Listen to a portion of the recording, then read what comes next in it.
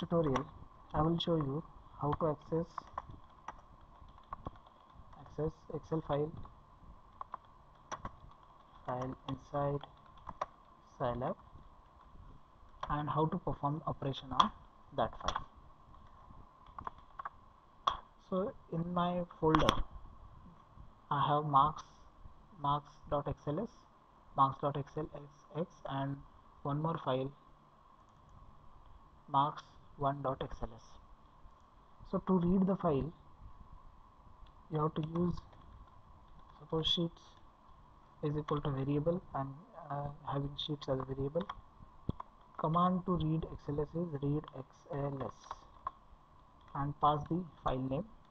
So name of the file is marks1.xls so this is nothing but the name of the excel file marks1.xls so this is marks1.xls file. So the names are and marks are given.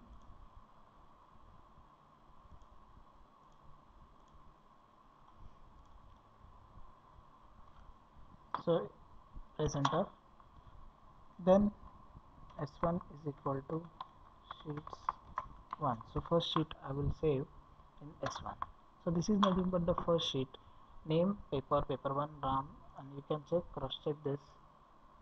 So the same excel file with the name name first value paper 1 pritesh prince 1796 so all values are same. So i have accessed this inside the scilab. So now it is accessible. So i have accessed it. Now i will separate out the values and text so that I will have some other variable s is equal to s1 dot text so only text is taken. S will be only text. And suppose y is equal to s1 dot value. So only values. So wherever text that will be written as not a number. And remaining 50 those values are um, taken as a number. And remaining are not a number. So those are here the command is s1 dot text for separating the text and value for separating the value. Now I have separated the text and I have separated the value. So s1 I have read it. So this is the procedure how we can read XLS file or Excel file inside the Scilab I will clear it. Now I have this y value or y is nothing but the matrix in which some values are not a number and some values are numbers. Now suppose I want to find average row wise average of it. So if I know that if or suppose I want to find the sum of it. Sum row wise. If I am taking sum sum of this y comma I am to take it as a row wise. So it is not a number because this is also added not a number and everything that will become not a number. So it is not correct output. Correct output I want as I want to add the numbers only. So that what I will do I will separate out text and numbers separately. Y is equal how? Y you can separate out the column first. So for separating the column give the semicolon comma 1 is equal to. So if you write like this y in bracket colon and comma 1 then it will separate out first column but I don't want that column. I want the matrix without this column. So I have to write like this equal to an empty bracket. So see the first column it is removed from this y. Now I want to remove the upper one means row first row. So that I will write y in bracket colon. Before colon the value is written for row and after is for column. So I want to remove first row. So I'll write 1 comma and then colon is equal to bracket. Now see this is removed. So that output is y is equal to 50 45 and only the numbers.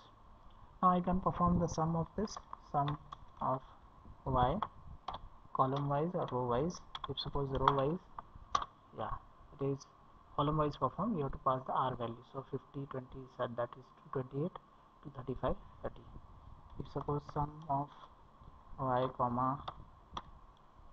c is you want row wise then this is the row wise addition of the numbers.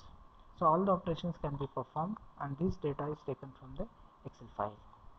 So if suppose sum of y the summation can be found out. Average y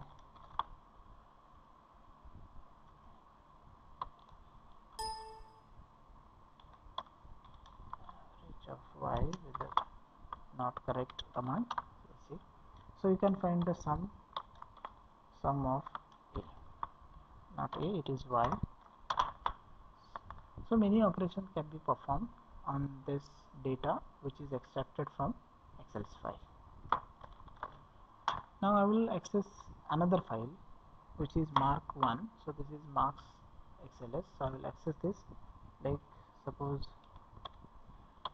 sheet is equal to read xls in bracket marks dot xls so it is now sheet. So sheet then I will have s I will take some other variables. Or a1 is equal to sheet of 1 sheet 1 in the second or marks.xls all are numbers. Have not stored uh, the text. All are numbers. Only first row is first row is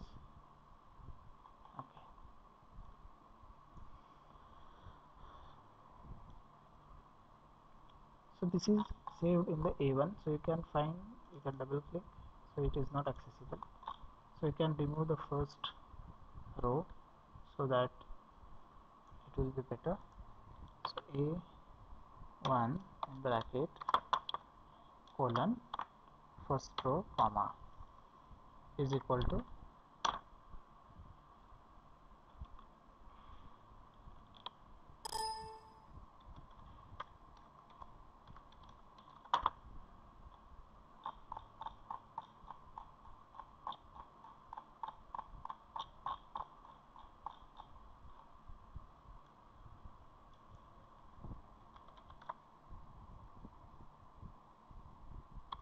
d is equal to a1 dot value.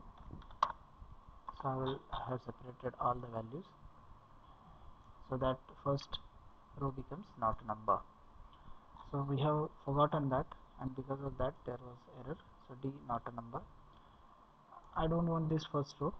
So I will remove it. D and bracket row so that before semicolon you have write first row comma is equal to the bracket. So see you can see that first row is now removed and d having only the values. Now you can perform the operations. You can perform the sum of d.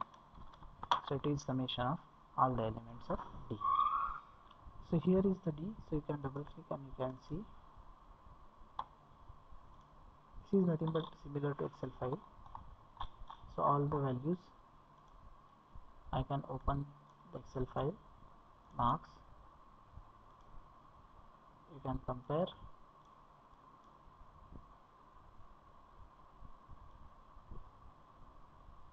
The values. 1 3 1 3 245 245 so all the values are similar.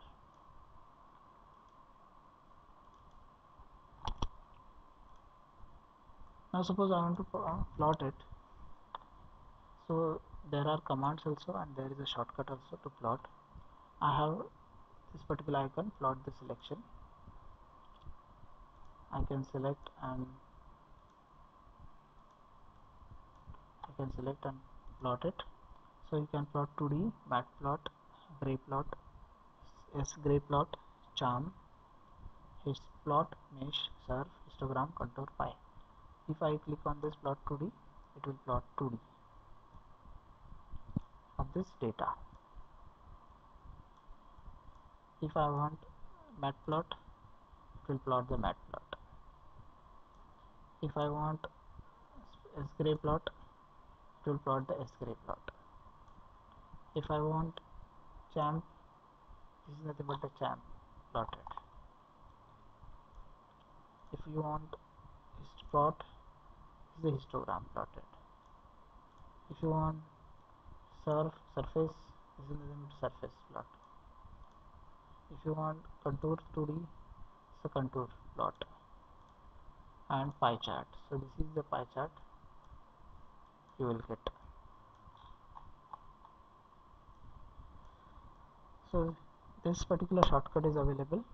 So you can click the data or you can have the selection and based on that you can plot the data. So many operations can be performed on excel file and easily accessible because in scilab also all the data are stored in the matrices and excel is nothing but it is array of matrices. Is a number of uh, number for column and number for rows. So it is easily can be accessed. Uh, so excel can be easily accessible. Accessible because the data is stored in matrices and Excel is nothing but a matrix.